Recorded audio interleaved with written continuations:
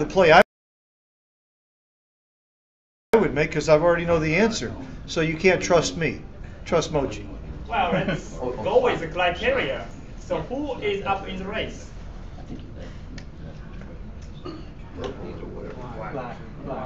Yes, black is up in the race. I, I didn't even count, but I'm pretty sure white has three back checkers and black has three, only nothing. So black is up in the race. Who has a better board? White. White so already, uh, you know, well, even though white doesn't have an anchor, already two out of three criteria says you must play board. the answer is playing board. Uh, the, the best play is two down.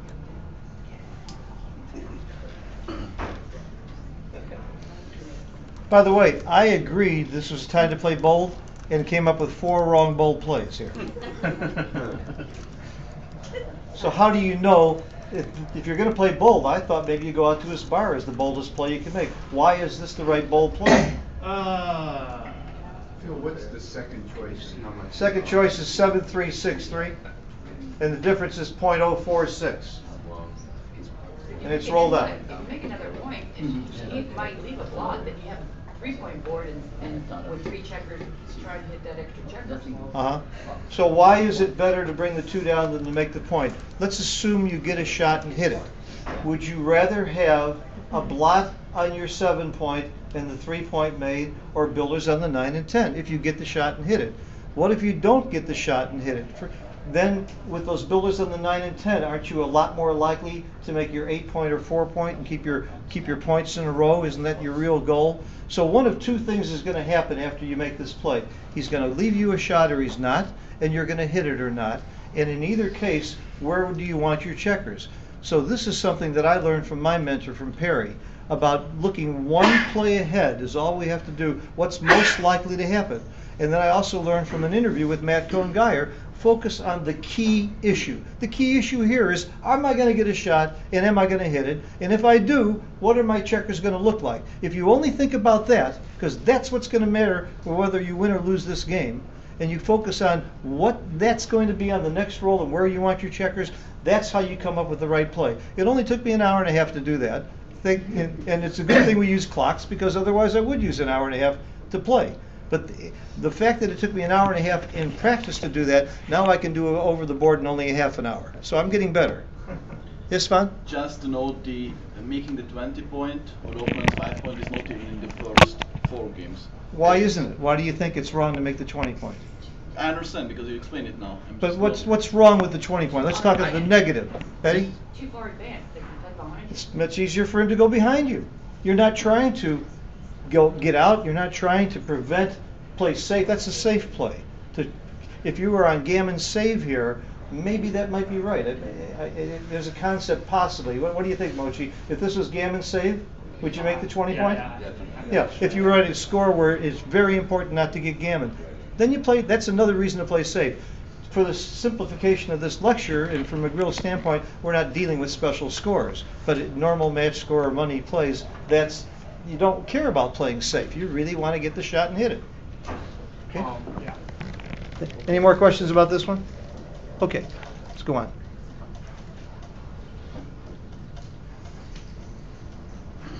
Yeah, white will play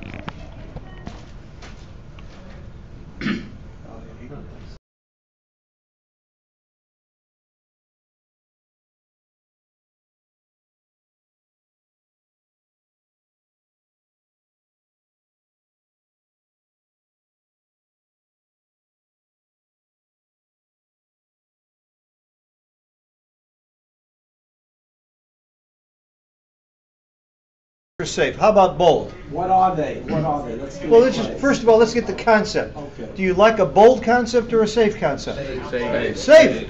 Beautiful, we got it. Everybody in this room is right. Yeah. What's the best safe play you can make? Thirteen Huh? Thirteen eight. Thirteen eight? You're not gonna hit? No. It's only one safe play actually. It's the only safe play there is.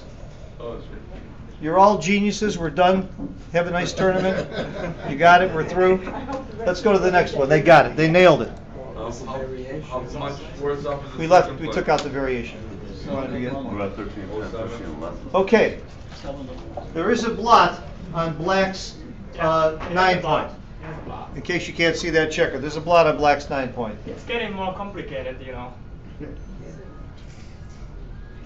So for two to play, you can either make four point, I call it bold, or you can make uh, 20 point, make the anchor, or you can hit him, like for two. I think it's also bold play. So one, one safe play and two bold plays. Twenty-two to sixteen, yes. My vote. Make tweets. Okay, again, who votes for bold? Who votes for safe? Okay, safe is right, based on all the criteria that Mochy pointed out. Now, which safe play is the best play? Which of the safe plays that you mentioned, there's making your opponent's five point, you can make your nine point. Oh, nine point. yeah, which is the first thing I saw, is making your nine point, is- it blocks and it's fairly safe.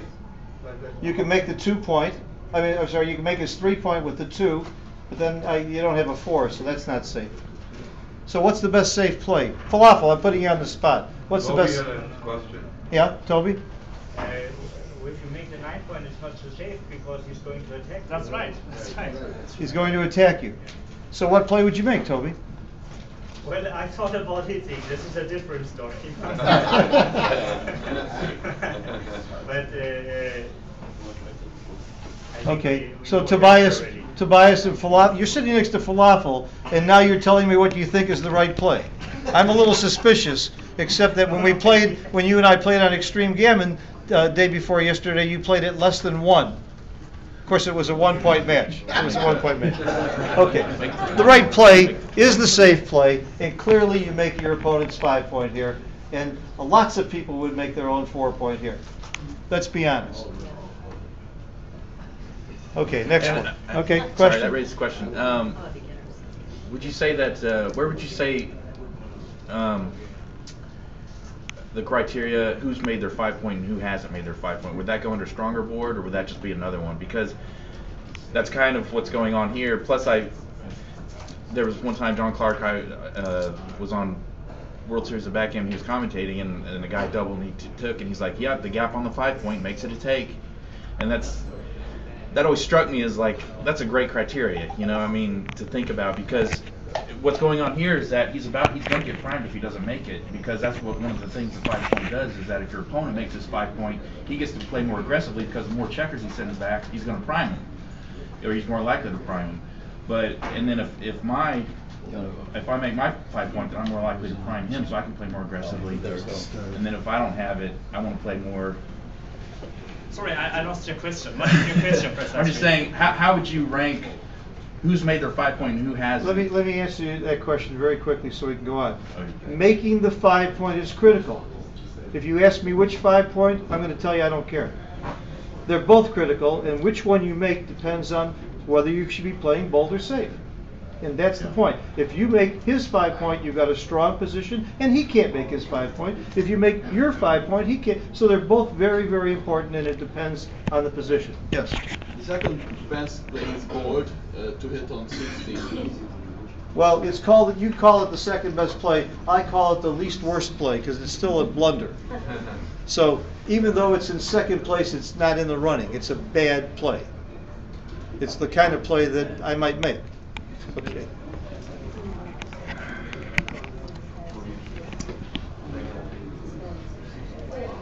Um, black is on the bar, and black not here and there. There's only two plays, right? Right. Uh, making five and making nine, or make twenty. Making five, either case is forced, basically. Thirteen, five, and then twenty-four, twenty. Thirteen, five, and twenty-four, twenty.